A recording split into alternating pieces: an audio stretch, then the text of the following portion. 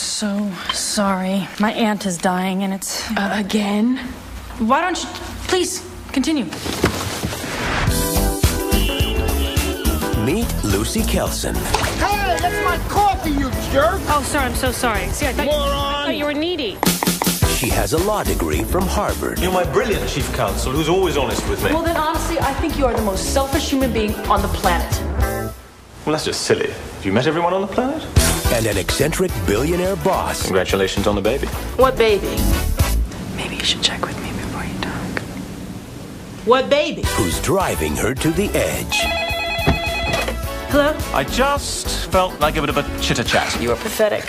This holiday season, the only way to get noticed I'm not here to pick out a wife or to pick out your clothes. Oh, sorry. is to give notice. Consider this my two weeks' notice. You're serious?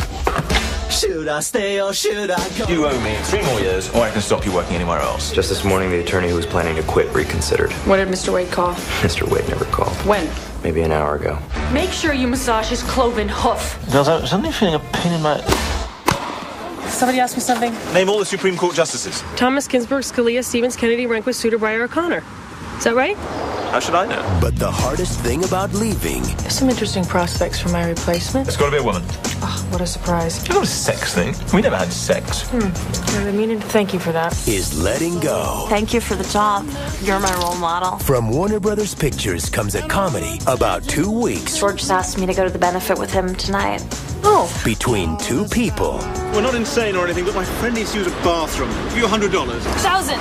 too close Try to be the person that you could be. Why don't you go and be the person you're supposed to be? to know what's happening to them. alrighty. Alrighty. Sandra Bullock, Hugh Grant, She's not interested in money or superficial flattery or cheap glamour, so, you know, what would I bring to the relationship? Two weeks' notice. She looks so peaceful when she's asleep, like a doll. And all with a sinus problem. Love